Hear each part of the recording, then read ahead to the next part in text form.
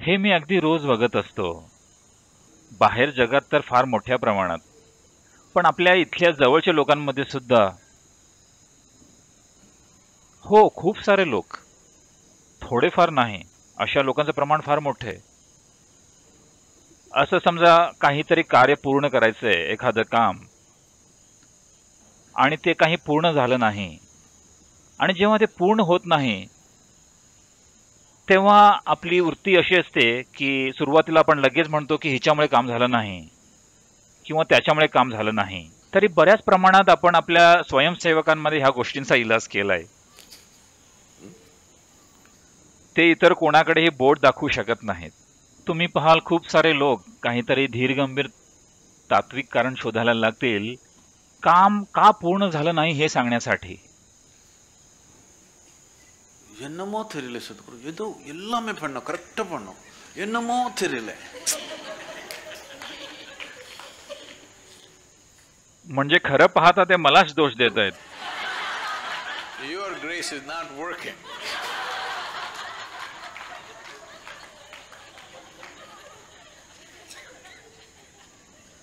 अगदी पहिल्या दिवसापासून इनर इंजिनिअरिंग क्लासच्या पहिल्या दिवसापासून त्यापेक्षाही आधी परिचय सत्रापासून फक्त ही एक गोष्ट आम्ही तुमच्या डोक्यात रुजवण्याचा प्रयत्न करत आहोत.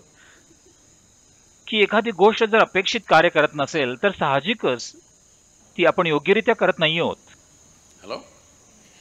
म्हणजे एखादी गोष्ट योग्य प्रकारे केली गेली नाहीये त्यात तुम्ही कुठं कमी पडलात हे कदाचित तुम्हाला आता या क्षणी कळत नसेल पण तो मुद्दा नाहीये. पण एखादी गोष्ट कार्य करत नाहीये किंवा अपेक्षित परिणाम दिसून येत नाहीयेत याचा अर्थ साहजिकच कुठेतरी आपण अचूकरित्या काम केलेलं नाहीये. पण लोक दैवी कारणाने उपाय शोधायला लागतात.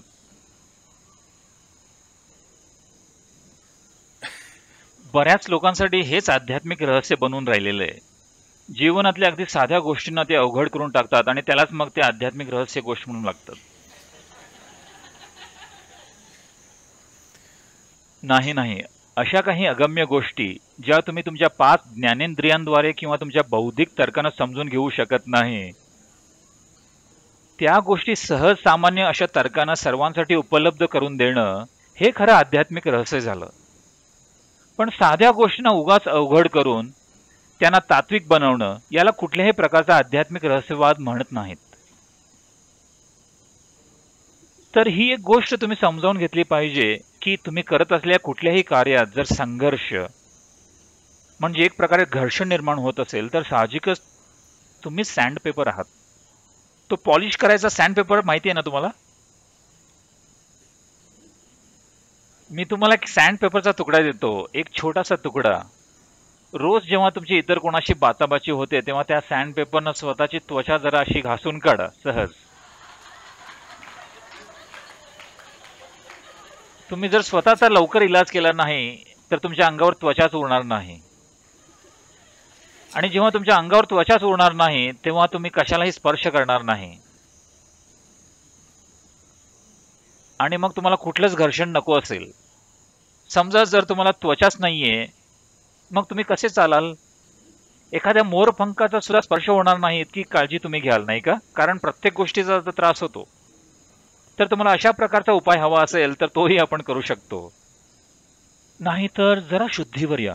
संघर्ष निर्माण होतो. जिथं कुठं तुम्ही जाता तिथे जर संघर्ष निर्माण होतोय म्हणजे त्याचं मूळ कारण तुम्हीच आहात. हे घर्षण कमी करण्याचा एक साधा उपाय म्हणजे मी आधी सुद्धा हा उपाय सांगितलाय पण तुम्ही तो आचरणात आणलेला नाही. तो म्हणजे एका दिवसात तुम्ही जितके शब्द बोलता. किंवा एका तासात किंवा एका मिनिटात एका मिनिटात तुम्ही जितके शब्द बोलता ते पन्नास टक्क्याने कमी करा.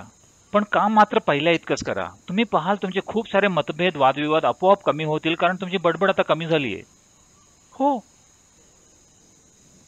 आणि आम्ही तुम्हाला हे शिकवण्याचा प्रयत्न करतोय की तुमच्यासमोर जो कोणी दिसेल एखादा माणूस स्त्री लहान मूल गाय गाढव हो गाढवाला सुद्धा. त्याला नमस्कार करा. पण नाही. असं असेल तर संघर्ष का नाही होणार? तो नक्कीच होईल. So, फक्त सद्गुरू इथं असताना असं आणि इतर वेळी असं असं करून चालणार नाही. हे तुमच्या जीवनात आणा. केवळ एक शिष्टाचार म्हणून नव्हे तर अगदी खरोखर. तर घर्षण दोन प्रकारचे असतात. एक आपल्या आतमध्ये आणि दुसरं बाहेरचं. पण ती तर एक अभिव्यक्ती आहे. एक परिणाम आहे. तर हा इनर इंजिनिअरिंगचा सगळा खटाटोप म्हणजे एवढंच आहे की जेव्हा तुम्ही इथं बसता तेव्हा संघर्षरहित होऊन बसता. जर तुम्ही इथं संघर्षरहित स्थितीत बसू शकलात तर बाहेरचे संघर्ष सुद्धा आपोआप कमी होतील. पण जेव्हा तुम्ही एखाद्या सँड पेपरला भेटता तेव्हा थोडाफार संघर्ष होणारच. जगात काही सँड पेपर टाईपचे लोक आहेतच. हॅलो तर जेव्हा तुम्ही एखाद्या सँड पेपरला भेटता तेव्हा थोडाफार संघर्ष व्हायलाच हवा. त्याशिवाय कसं चालेल? निश्चितच होईल. तर सामान्यतः शक्य तेवढं आपण सँड पेपर टाईपची माणसं टाळायचा प्रयत्न करतो पण काही वेळेस आपल्याला त्यांच्यासोबत काम करावंच लागतं. आणि जेव्हा तुम्हाला अशा सँड पेपर बरोबर काम करावं लागतं तेव्हा तुम्हाला थोडं अक्कल हुशारीनं काम करावं लागतं. हे तुम्हाला आपोआप येणार नाही. हे तुम्हाला शिकावं लागेल. यात आध्यात्मिक असं काही नाहीये. सामाजिक व्यवहार चातुर्य म्हणू शकता. काही वेळा त्यांनाही काम होत नाही पण हा तुमच्या कौशल्याचाच प्रश्न आहे. काही वेळेस असं दिसतं की जे लोक मुळीच आध्यात्मिक नाही ते अतिशय हुशारीनं सँडपेपर टाईपच्या लोकांबरोबर काम करतात. तुम्ही पाहिलं असेल सरकारी कार्यालयात एजंटचं काम करणारे लोक किंवा राजकीय वातावरणातले काही लोक ते इतके मृदू स्वभावी असल्याचा आव आणतात समोरची व्यक्ती कितीही आडमूट असली तरी त्यांना काहीही फरक पडत नाही. हे लोक मात्र छान असतात. ते आपलं काम ओरकून निघून जातात. तर सँडपेपर वृत्तींच्या माणसाबरोबर काम करण्यासाठी थोडं कौशल्य आणि अनुभव लागतो. त्यात आध्यात्मिक असं काहीच नाहीये. ते एक प्रकारचं सामाजिक कौशल्य आहे. पण साधारणपणे आश्रमात अगदीच तुरळक सँड पेपर आहेत. अधूनमधून काही लोकांच्या अंगावर सँड यायला लागते. पण मग ते लगेच ती झटकून टाकतात. ते तिला कायमची स्वतःवर चिटकून ठेवू देत नाहीत. पण अधूनमधून ते तसे वागतात. नेहमीच नाही. तर जेव्हा ते तसे वागत असतात जेव्हा साळींदरने आपले काटे बाहेर पसरलेले असतात तेव्हा तुम्ही त्याच्यापासून थोडं दूर राहायला हवं. जेव्हा काटे खाली झुकलेले असतात तेव्हा तुम्ही त्याच्याशी बोलू शकता. ती आपले काटे काही नेहमीच वर उभे करून ठेवू शकत नाही. त्याच्यामध्ये तेवढी ताकद नसते. तर तुमचा संघर्ष तुम्ही हे समजावून घ्यायला हवं की तुमचा संघर्ष हा तुम्हीच निर्माण करताय. मी काय करावं मी काय करावं हे मी नाही सांगणार. मी मुळीच नाही सांगणार. तुम्ही एवढंच करा. आम्ही तुमच्यासाठी एक खास गाढव आणू. तुम्ही त्याला नमस्कार करायला हवा.